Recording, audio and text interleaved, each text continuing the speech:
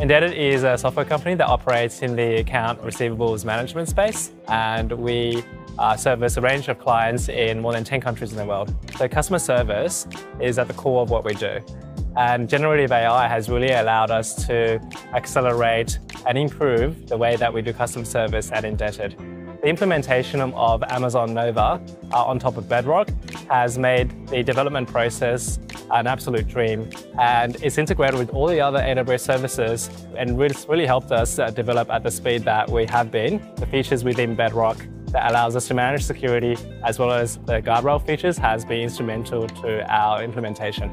For our use case, with respect to responding to customers, we found that Amazon Nova has been able to deliver the same impact and the same results with a significant cost reduction of more than 30%. If it was a situation where we didn't have integrated environment, we didn't have the guardrails built in, and we didn't have the additional tooling that was already available in the framework of Bedrock, the development time would have been much longer. We wouldn't be able to prototype, we wouldn't be able to run POCs that could demonstrate uh, evidence that the project was going to deliver enterprise value. So the entire framework, along with Nova sitting on top, being a cost-efficient model, has really allowed us to be able to build this solution out the way we wanted and also be able to justify this particular uh, use case to our board to be able to deliver um, changes and the implementation sooner as well.